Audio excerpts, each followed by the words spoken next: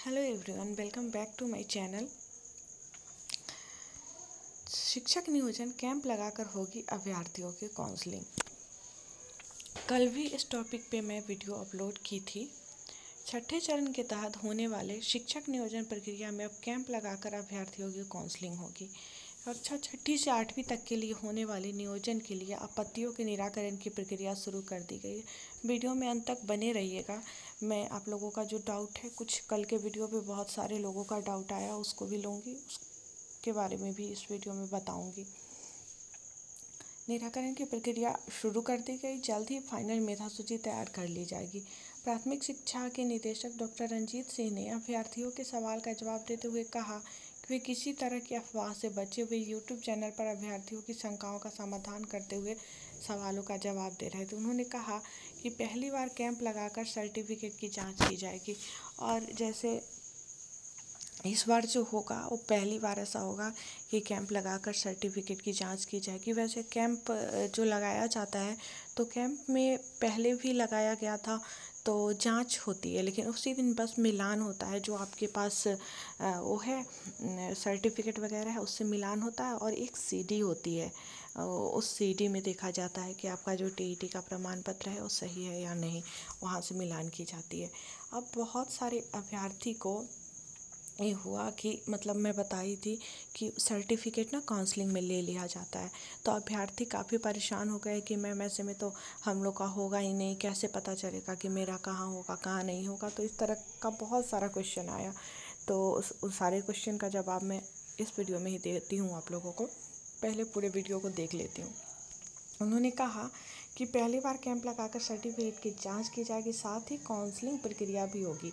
एक ही अभ्यर्थी के दस से अधिक जगह पर आवेदन दिए हैं, ऐसे आवेदनों को छाटा जाएगा, ठीक है? क्लियर अब एक कैसे संभव है सो मैं बताती हूँ। जैसे काउंसलिंग के बारे में ये था कि सर्टिफिकेट वहाँ पे ले लिया जाता है। तो सर्टिफिकेट ले लिया जाता है, लेकिन फाइनल मतलब जित, उतने ही लोगों को, जितने चयनित लोग होते हैं सर्टिफिकेट सबका लिया जाएगा उस समय। जितने भी लोग काउंसलिंग करवाएँगे लिया जाएगा बट चयनित जो लोग होते हैं, उनका सर्टिफिकेट रख लिया जाता है। जैसे मान लीजिए कि पाँच जनरल का सीट है तीन ओबीसी का है, दो एस सी एस टी का है, इस तरह से है। तो टोटल सीट यहाँ पे नौ सौ हो रहा है। तो नौ कैटेगरी वाइज वो रख लेंगे, ठीक है? नौ लोगों का जो चयनित हैं, जिनको हंड्रेड परसेंट नियोजन पत्र मिल जाएगा। तो उनका सर्टिफिकेट जो है वापस नहीं किया जाएगा। इन लोगों को नियोजन पत्र मिलेगा। सर्टिफिकेट वापस नहीं किया जाएगा। क्यों वापस नहीं किया जाएगा? कि ये फिर जाके कहीं और भीड़ ना लगा दे, है ना? तो ऐसे में बहुत फ़ायदा होगा। आप लोगों का ही इसमें फ़ायदा है।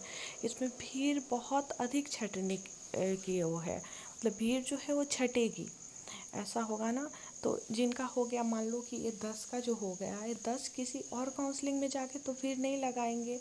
इनका तो हो गया नियोजन तो फिर आप वहाँ भी करवा सकते हो। मतलब एक तो हम लोगों को पता होता है अपने मेरिट के हिसाब से कि मेरे से आगे कितने लोग हैं लाइन जैसा लगा रहता है, मेरे से आगे कितने लोग हैं, मेरा होगा या नहीं, मेरा मेरा कितने नंबर पर वो था। मतलब मेरा लाइन से मतलब वो नहीं, मैं वो नहीं कर रही हूँ। मतलब जितने लोगों का मेरिट लिस्ट में है, उसमें से कितने लोग ऐसे हैं जो हमारे लाइन में लगे हुए हैं? मतलब जो हमारा काउंसलिंग का कैंप लगा हुआ है, उस कैंप में वो लगे हुए हैं। तो उससे एक आइडिया मिल जाता है। और लोग जनरली अपने चॉइस के हिसाब से ही जाते हैं, अपने आसपास के ब्लॉक में या अपने ब्लॉक में, जहाँ से घर नज़दीक हो। तो उसी तरह के स्कूल का चूज़ करते हैं। और बाकी लोगों का जो सर्टिफिकेट होता है ना, वो वापस कर दिया जाता है। और एक ही दिन काउंसलिंग नहीं होती है। एक ही दिन आप सोचोगे कि पूरे बिहार में काउंसलिंग हो जाए, ऐसी बात नहीं है। अब जैसे यहाँ जिनका हो गया, उतने लोगों का हो गया। मान लो मुजफ्फरपुर में आज लगा था, मुजफ्फरपुर में सारे लोग का हो गया। और अगर फिर दूसरा ज़िला में आप चाह सकते हो। अगर आपका मुजफ्फरपुर में नहीं हुआ, आपके मार्क्स कम हैं या कुछ। और ऐसा नहीं है कि मुजफ्फरपुर में भी फिर दोबारा नहीं लगेगा, मुजफ्फरपुर में भी लगेगा। लगते रहता है कैंप, नियोजन पत्र बांटने वाला। मतलब कई बार कैंप लगता है। आप काउंसलिंग करवा लो और काउंसलिंग के बाद वो जितना सीट है उतने को अगर नियोजन पत्र मिल गया तो मिल गया। नहीं तो मतलब बहुत से लोग होते हैं कि काउंसलिंग करवाते हैं लेकिन वो नहीं करते हैं। वहाँ नौकरी करना नहीं चाहते हैं नियोजन पत्र नहीं लेते हैं। मान लीजिए कोई थोड़ा सा ये है, दिक्कत यहाँ पे थोड़ी सी होगी, लेकिन ज़्यादा फ़ायदा ही है। दिक्कत ये होगी कि बहुत बार ऐसा होता है कि, मैं बता दूँ एक उदाहरण स्वरूप आप लोगों को, कि ये जो टी वाला बहाली हुआ, उससे पहले की बहाली में ब्लॉक वाइज काउंसलिंग कर दिया। तो क्या हुआ कि मुजफ्फरपुर के और ब्लॉक में पहले हो गया। और तो जो जहाँ पहले होते रहता है, स्वाभाविक है, लोग को भरोसा नहीं रहता है कि मेरा होगा कि नहीं। जहाँ पहले होता है, वहाँ लोग दौड़ते हैं। तो सारे लोग और आई में ज्वाइन कर लिए और उस समय भी यही चीज़ था सर्टिफिकेट जब्त कर लिया गया सर्टिफिकेट ले लिया गया मतलब।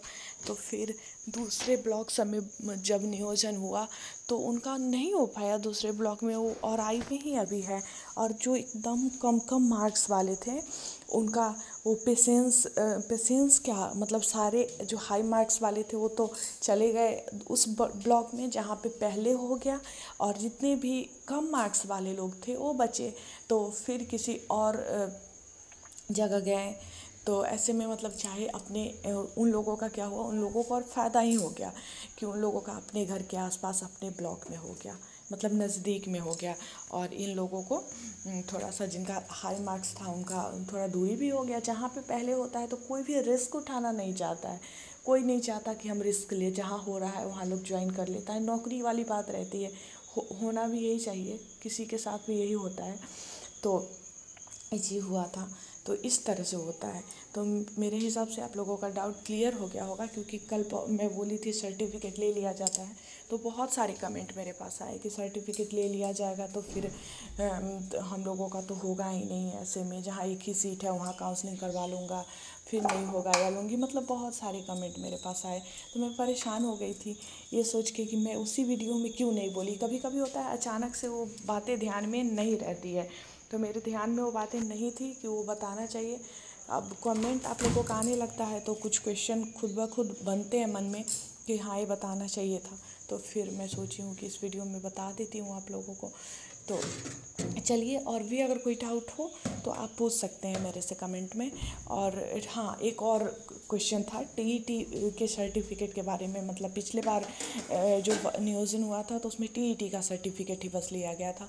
तो सही बात है, आप लोगों का कहना हंड्रेड परसेंट सही है कि इस बार तो जो, वो है डिजी लॉकर वाला है। तो इस बार शायद सारा सर्टिफिकेट लिया जाएगा। क्योंकि मैं देखी थी वीडियो सर का, जो प्राथमिक शिक्षा निदेशक है तो उनका कहना था कि सारा सर्टिफिकेट सब ले लिया जाएगा। तो इस बार ये चीज़ होने वाली है। तो पिछला बार वही लिया गया था सिर्फ़ टी क्योंकि टीईटी का सर्टिफिकेट जो था डिजी लॉकर वाला झंझट नहीं था। उस समय सीटेट का भी आता था ना तो डिजी लॉकर पे नहीं आता था, घर पे ही आता था। तो लोगों के पास ओरिजिनल एक ही हुआ करता था। तो अगर ले लिया जाता था तो बस ले लिया जाता था। चलिए, उम्मीद है आप लोगों का डाउट क्लियर हो गया होगा। तो मिलते हो फिर आप लोगों से नेक्स्ट वीडियो में। एक नए अपडेट के साथ, जो भी लोग चैनल पर नए हैं या पहली बार मेरे वीडियो को देख रहा है, चैनल को सब्सक्राइब करके बेल आइकन को ज़रूर दबा लें, ताकि जब भी मेरा नया वीडियो आए नोटिफिकेशन सबसे पहले आपको मिले।